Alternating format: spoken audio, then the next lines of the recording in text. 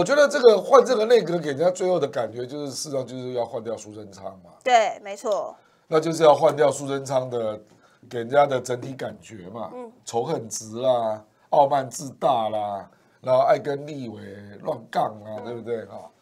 那所以，我坦白说，只有，我觉得蔡英文还是知道陈建仁代表的意义啦。那个坚韧就不用讲了啦啊，因为坚韧要事实证明，温暖是事实啦。那温暖就是对比朱贞昌的跋扈嘛，啊，就是说你这个，所以我我实际上已经接受过其他节目，我就公开讲说是酸辣汤换成甜汤。甜汤啊那另外一个牌就郑文灿嘛，郑文灿就是要处理各个界面的摩擦嘛，哦，因为这种问题承建人是没有能力处理。嗯郑文灿要处理四个界面，嗯行政跟立法这个界面啊，然后行政院跟党跟赖清德啊，媒体的界面，嗯媒体的界面，嗯，还有中央跟地方的界面，这四个界面只有郑文灿能处哦，理这。样讲完就通了耶。所以我跟你讲，这个内阁的本质是什么？叫做减少仇恨值、改善人际关系的内阁啊，你知道吧？啊，那广义啦，广义就是减少摩擦，那避免民怨，然后降低仇恨值的内阁啊。可是问题是，内阁不能够只靠搞人际关系存在嘛。请请请问请问亮哥，这个定调跟这个组合适合放在大选年吗？我认为啊，呃，会跟赖清德的期待有很大的落差。哦，就是你你没有制造我的困扰，这是感谢你帮忙了。就是苏贞昌总算离开了啊，那区域立委也是阿弥陀佛，对不对啊？因为这个人老是制造仇恨值嘛啊。可是如果你上来的内阁只是在减少民怨啊，减少摩擦啦，处理人际关系啦，然后温温暖暖啦对啊，这样我还不够得分呐、对，得分是要靠做出成绩嘛，才能得分嘛。所以我讲一句台语嘛，我讲哦，假滴滴啦，爱爱生好心呀、嗯，那、你不要只会假滴滴，结果小孩生生不出来了，嗯你知道吧？嗯嗯。生不出来，嗯。因为未来你就有几个东西你要立立即考验了嘛。比如说我今天就看到赖金德已经等不及了，嗯，立刻对邱丽丽停权，对，对不对？开闸，没胡啊啦，所以他要动嘛，对不对？那你以后如果又碰到枪击案，碰到柬埔寨案，然后你内政部长不能立即破案，嗯，哦，那个压力多大、啊？还有比如说前天传出来一大堆名人被金融诈骗案，是，对不对？一大堆人那个人头被拿去乱用嘛，对不对？你要破案给我看啦、不然我就认为你这个内阁就是无能嘛，对不对？蛋买不到啊，对，所以我的意思是说，这个就是考验了。所以光甜汤没有用啊。不好了，我跟你讲，你看，你记不记得苏贞昌那个一上来第一件事情就就是去机场查那个朱温啊，你记不记得？嗯，他就要展现他的霹雳行动，说我是也要有结果。我还记得还有震怒嘛，对嘛？嗯，就是苏贞昌啊，他他会带着怨恨下台是可以理解的。他就说，我替你卖命哦，然后他不是用那个高温茶壶做比喻，说那个水进来高温，我要泡茶给大家喝，那分的不好要被骂，最后剩一肚子渣。一肚子渣都是我嘛，对不对啊？没有错，他是渣没错啊。那可是你至少有喝到茶，他的意思就是说，哎，我泡出好茶你喝到了。哦，表示他有在执行事情嘛。嗯，哦，苏三昌是个有能力的人啊，这个我们必须承认的啊。可是他就是一个人缘极坏、极嚣张跋扈的人，用事，对嘛？啊，就是这样嘛。啊，那你陈建仁现在要改变那个形象跟人际关系的部分，嗯，可是你不能够因为这样，那苏贞昌那个执行能力就不见了。对，对不对？啊，但你因为苏贞昌到了后期，人家就开始抱怨了，说你那个陈陈陈吉仲，那鸡蛋问题四个就月是个别。阁员的执行力低落嘛。对，可是苏贞昌就会去盯嘛，嗯会让你那个阁员很难受，要去加快执行嘛，对不对？哦，那你你请问陈建仁这个内阁谁要去当这个黑脸？嗯，内阁不能没有黑脸的，对，郑文灿也不像黑脸，对不对？嗯，那你总不能叫李梦燕去当黑脸吧？秘书长也不是这个角色，也不适合啊，他。不，而且你分量不够啊，那没差离啊，对对不对？对，呃，好，我我等一下哈，我想要先插播一个，我们这边有一个内线消息，嗯，这个我刚刚私底下已经求证过亮哥了。好，事情是这样的，就是我们最近从传闻是绿营的幕僚里面听到一个消息，在一一二六败选那天啊，不是立刻开了一个败选检讨会议吗？呃。这个幕僚是说呢，苏贞昌当时一进去就直接撂了狠话，说我已经跟蔡总统讲得很清楚了，我是不会辞职的。那讲完之后，大家也是一阵尴尬他啊，对谁讲？说对对，里面所有的人呛里下，面是谁？行政院会啊？不是不是，是那个败选检讨会议。哦哦哦，OK。对，他在我那个那里面办演检讨会议，小英不在了。对，所以他就说我已经跟蔡英文总统说的很清楚，就是我是不会辞职的。然后他还据说点名了五大人选哦，说你们要找战犯，我告诉你谁是战犯。嗯，第一名林志坚，嗯哦，第二名林习耀，第三名是。第三跟第四一起讲，洪耀南、洪耀福兄弟。第五叫做林鹤明，他说：“我告诉你们，战犯就是这些人，而不是我哦。，那个党的部分，那个人事赖清德处理掉了啦。林鹤明是总统府的，你怎么处理？嗯，对不对？嗯。那林志坚就牵涉到要不要开除党籍了。然后他说林夕耀就是因为他攸关点提名的林志坚嘛，不，我知道了啊，林夕耀已经换掉了嘛，对。对不对？党秘书长已经换人了嘛，所以我苏贞昌讲的都不是内阁成员。可是你认为孙昌真的是会这样子？不，因为你他为什么到败选会议敢讲这个话，表示他跟蔡英文见过面嘛。嗯。那我们第一时间听到了他跟蔡英文第一次见面，对。那时候蔡英文事实上还没有底定要换他，对，所以我们才一直猜来猜去，猜来猜去，持续好长一段时间嘛。这是事实啦。嗯，因为坦白说，蔡英文真的没有跟陈建仁谈过。而且亮哥，你是不是我记得在年前你有提到说蔡英文还闭关了一段时间，谁也不要过来跟我谈阁魁的事。对，嗯，对，不，因为甚至有人传了一句话，可是这句话不能证实，现在总统府也会否认，说蔡英文那个时候跟苏贞昌还讲了一句话，说呃这个那个政府需要你了，哦。哦，那就是没有讲到词的问题了，没有讲到词的问题啊。那因为他还没有跟任何人谈过阁魁嘛，不要不要说陈建仁的，顾立雄他也没谈过啊。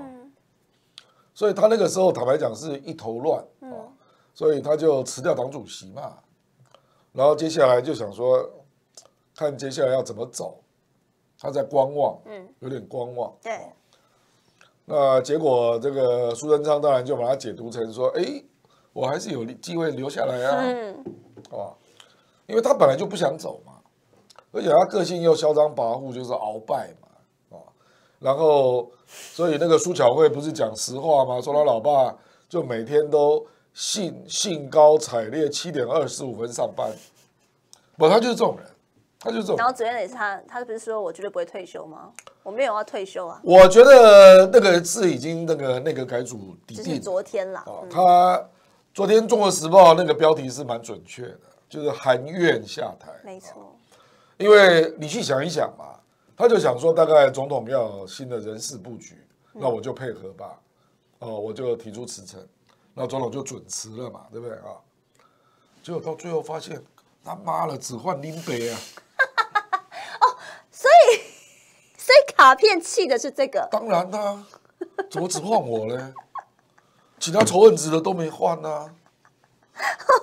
所以原本他也许还还好过一点，就是他可能会台面上大家一起他可能以为要换很多人嘛，还是最先是陈吉仲，不是说要跟我陈？吉仲、薛瑞元啊，对不对？他可能想说有很多人会被换嘛，嗯，哎，结果搞到最后只换我，那这是什么意思啊？哦，因为陈时中是先走了嘛，因为仇恨值第一名、第二名就是他们两个嘛，嗯，所以陈时中你你既然走了，就撒尤那拉。对，啊，内阁改组到最后竟然只换我一个啊，其他坦白讲都不重要。徐国勇是自己走掉了嘛，对对不对啊？所以他当然就满心怨恨嘛。那肚子里只剩渣嘛？所以你认为都是我的错啊？嗯，这个内阁我在忙里忙外啊，把这个这个，所以我才说啊、那个陈建仁跟赖清德后来写的对那个苏贞昌的感念的谢词啊，那个就写的过头恶心了、你知道？包括小英啊，嗯，因为你这个对照内阁改组的现实，事实上就只换这个家伙啊。嗯你那些溢美之词，你不觉得完全自相矛盾吗？啊，既然他做那么好，为什么要换他？，对，对不对？嗯这个问题人家就自然就跑出来了嘛。嗯说啊，赖清德，而且那个陈建仁更恶心，陈建仁还出来说有两件事要麻烦你，对不对？对对不对？对，告诉要这个啊呢，恶心了。我太自相矛盾。那那亮哥为什么就是连就全部人都知道，就是仇恨值当然最大是苏贞昌没错，可是还有很多人，小英为什么不把这些人换掉？我讲白了啦，你任期只剩下一年哦，你要找学者专家是不可能是能，不好找人的问题不。可能啊，不脑壳脸，大概他概知道，大概只有李纯这一种，因为他本来那个中经院也是属于政府的外围单位嘛，嗯嗯所以这个就比较容易处理。嗯，你如果是人家在任教，还是没他处理了，对不对？嗯，怎么临时去跟学校讲，那所有的课都要改改动，因为中经院是研究单位，他比较没这种问题。对，那蔡英文就是因为他排除了一种人，所以才会改动那么少。嗯他排除了立委嘛，他真的用立委进来的只有管碧林，对不对？管碧林还是不分区的啊。事实上，我讲讲白了啊，陈吉仲跟薛瑞元，你要找不分区来带，不分区都会答应啊。嗯比如说陈吉仲，你找庄瑞雄来带嘛，庄瑞雄很适合当农委会主委啊，他本本来就是龙鱼县嘛。其，其实真的还有人呢、本来就有人，啊。然后薛瑞元你可以找邱泰元嘛，嗯，邱泰元等很久了。不能可惜嘛，而且民进党的不分区连任本来就不容易啊、嗯而邱泰元已经做两届，对，那庄瑞雄当然还有可能啊，哎，现在这段时间对邱泰元来说，乐色时间，他跑去当卫部长，何乐而不为啊？留个资历啊，，啊而且当一年去刷一，一下嘛。本来就是嘛，所以我的意思是说，小英显然就是不想没有想要用立委嘛，嗯，不然你内阁怎么会改组成这个样子？你可以换很多立委上来做啊，我认为会有很多人愿意。管碧林都进去了，管碧林实际上第一志愿也绝对不是海洋嘛，对不对？他第一志愿一定是教育部长嘛，对吧？啊，你该没点开讲潘文忠，嗯，很公背的其他尼嘛，因为潘文忠事实上他是对那个中小学比较熟嘛，那现在的重点是中小学嘛，对不对？嗯，所以，所以我的意思是说，这个就是这个坦白讲就是蔡英文的问题了。是，因为你没有把立委把它好好想一想嘛，是不是有些人想要换跑道？嗯哦尤其是不分区的。，对，那我觉得可能性是非常高的、啊，显然就是没有用嘛，就这样啊。呃，因为我等一下还要讲一点麦卡锡，还要讲一点来那个观众朋友们，很多人在点播，想想听这个亮哥评徐巧芯等等的哦，已经要准备宣布，所以我快速进另外一个小八卦，巧芯老宣布，我昨天已经拿到了他的面子。对啊，，呃，我想要快速进一个小八嗯卦，就亮哥你在那个节目上讲人家吴钊燮被美国退货这件事，虽然大家心知肚明，可吴钊燮不喜欢你这样讲啊。据说啦，哦，我们家昨天马德嘛，记者又去问他，就是直接爆出来说，听说你是被美国退嗯货，所以才没有嘛。哇，那眼睛瞪大，这也就算了。后来他想再追问，就跟他说谢谢你哦。结果呢，据一些小道消息同业传回来的说，吴钊燮回外交部里面的时候气到不行本。来就是啊。不，我跟你讲啊，气到不，我跟你讲啊，我们之前这个两个人互调这个新闻出来，对不对啊？这个就对美国非常不礼貌。嗯，因为驻美代表是要美国同意的嘛，对对不对？那外交部真正应该做的作为，应该是在第一时间那个时候就出来否认。嗯，对，你你为什么不做这件事？没有，你为什么不做这件事？嗯。啊？那到了尘埃落定，才私底下在屌说妈郭正亮大嘴哎，巴，过程当中让子弹飞啊，所以他还是心心存寄望嘛。我跟你讲啊，不然这种事情，坦白讲了，驻美大使、驻美代表这是多大的事情，通常都是要跟美国沟通，嗯，然后我们这边才会定案嘛，都是这样的啊。我坦白讲，我如果是美国，我当然喜欢小美琴嘛，这还用说吗？啊，第一个，至少他上任以来，大家做事情做得很顺啊。那目前坦白说，可能也有一些计划在进行，而且平稳不容易失控嘛。对嘛？那、第二个，不，这个就是人际关系好嘛。萧美琴的人际关系啊，咳嗽到底什么意思？我躲在这里。肖美琴的人际关系比吴钊燮好一百倍。是你去问驻外的做人处事，然后人跟人之间那个，对不对？哇，你讲啦，你去问那个驻驻美国的代外交部的官员，你就知道了。那当然还有第三个，第三个对美国来讲是更核心的啦，就蔡英文直通嘛，对，直通的程度，萧美琴绝对超过你吴钊燮。没错没错，所以所谓小美琴要跟你互调，坦白讲，真正的考虑是因为大家在想说赖神会不会希望他当副手？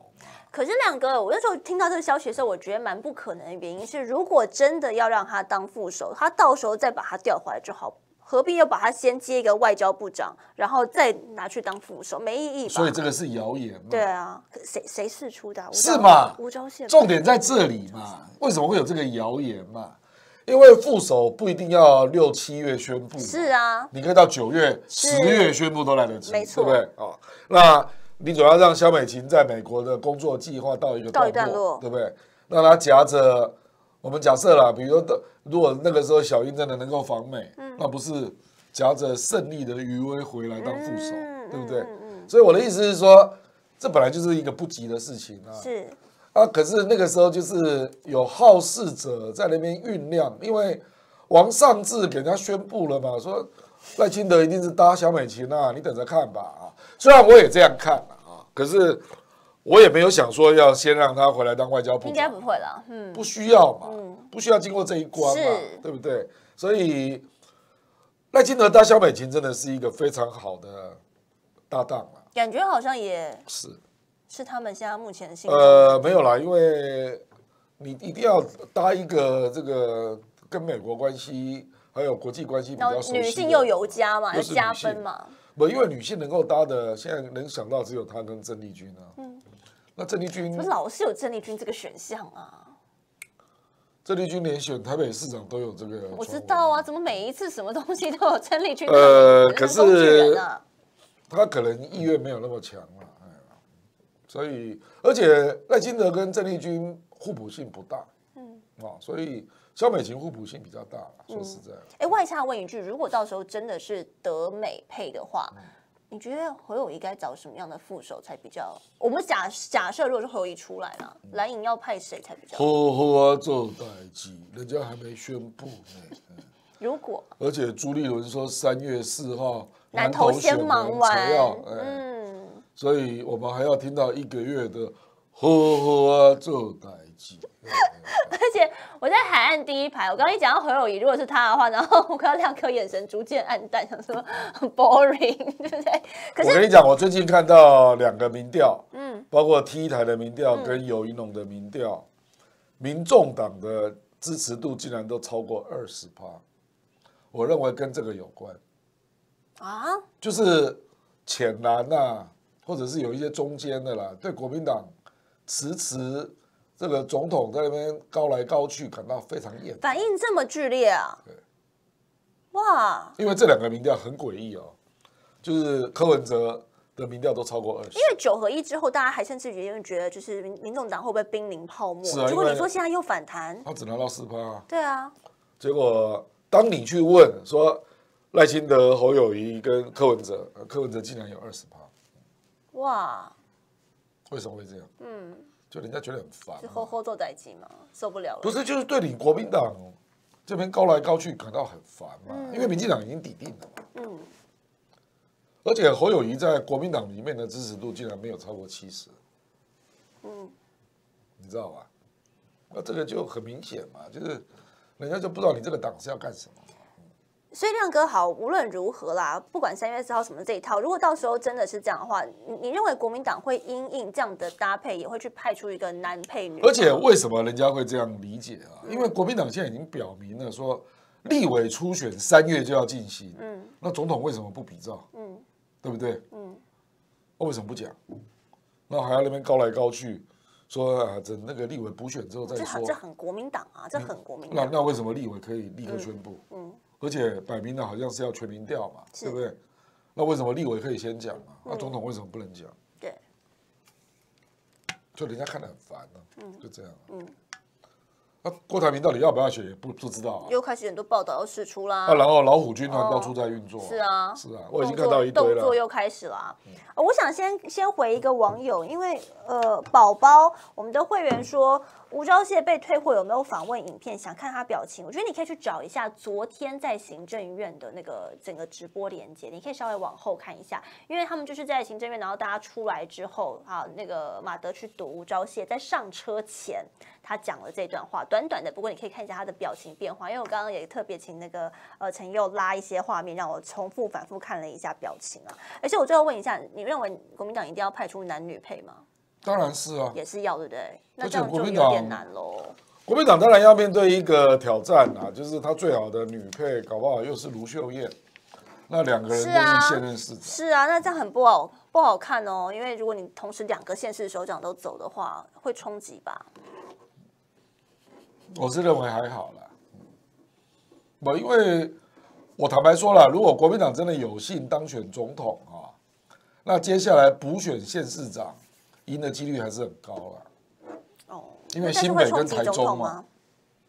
我当然这个会是一个题目嘛，对啊那，这个题目你本来就要面对啊，嗯因为侯友谊就一定是嘛，嗯可是侯友谊已经在新北待那么久，嗯，我认为那个效应有限啊，不然林佳龙怎么会输四十六万票，对。对不对？呃，看标题的时候，其实我有特别，刚刚有我们有下面跑一个小标题，写说就是一张照片可以显现出，就是陈建仁可能是一个儿歌魁，我就让大家先稍微看下照片，因为我想要跳下一题了。这就是昨天这个根据我们中天这边的直播所截图，这是我们老朋友张宇轩，他就说你看哦，你看不到陈建仁陈建仁在哪里啊？在后面啦，在在在在这个后这边嗯吧，这附近。这这附近被涌住，然后他说：“可是你看这正脸，然后以及大家跑过来的，哎呀，这我跟你讲，大家的政治嗅觉都哦差不多啦。对对，我一看就知道 key man 就是郑文灿。是啦，从而且你从一开始就说了，很早就说了，所以这是一张照片可以曝光未来的日子。那从刚刚最开始我用口罩松绑这个令，然后亮哥已经直接跟我们讲了，接下来类似的情况还会很多啦，多头马车啦，啊、不然就是党呃内部还有杂音啊，然后还有以及跨很大的人应该也会有很多嘛，对其他的部会事务指手画脚的事情，我看部会的整合，搞不好私底下也是郑文灿在处理，那所以就变成五个界面。如果连部会面，如果连部会整合都是，对，所以这个就提供大家参考一下。